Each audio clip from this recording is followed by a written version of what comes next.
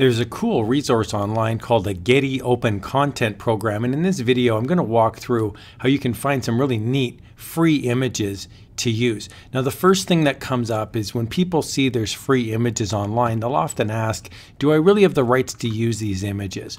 And Getty's like a big organization that has a lot of different images, and some of the images, not all, but some of the images are in the public domain.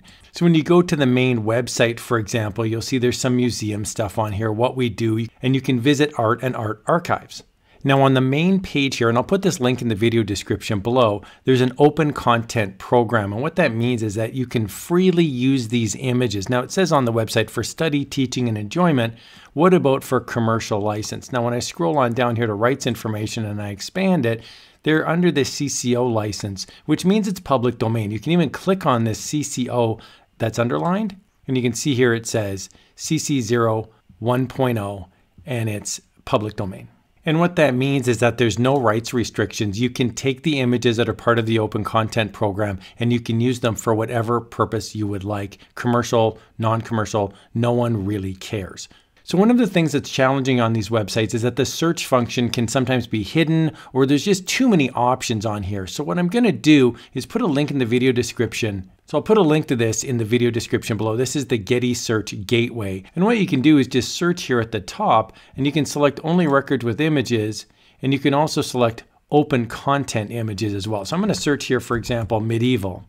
And we can see there's over 73,000 records that are below. And what I'm also going to check is on the left hand side, there's some filter options. I'm going to scroll right down to the bottom and I'm going to make sure this open content images is selected because that's going to show me stuff that is copyright free, basically public domain that I can then use. So here's my medieval records. I've got 73,000 records.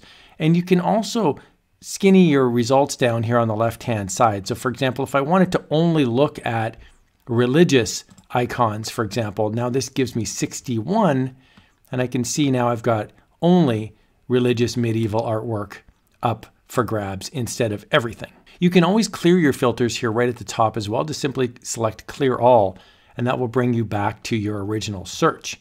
You can also click here to start over right next to the search results. And now I'm back to the beginning. There's also a highlights section right here, open content images. And check that out. There's over 165,000 records that have been returned. And you can filter by different types or by a search term. I highly recommend selecting only records with images. There's no point in searching for something if no image is going to come back up. Here I've searched for Rome, for example, and let's say as much as I like photographs, I don't want to see the Roman photographs. I'd like to see artwork instead. So here, instead of all types, I'm going to go to show more, and I'm only going to go to paintings. Now I'll click done, and that will show me only Roman paintings, and it excludes all of the photographs. Here's a great picture here, modern Rome. You can see that's a great looking oil painting there. If you select the enlarge button, it just shows you an enlarged picture. But if you select the primary title, that will open up an entirely different web page where you can read all about the artwork. You can read the description. You can even download the image right here. And I want to point out, it says public domain right here. So you can always double check. Simply clicking the download image button you can see there's large resolutions, even super high resolution image. I'm going to select that one.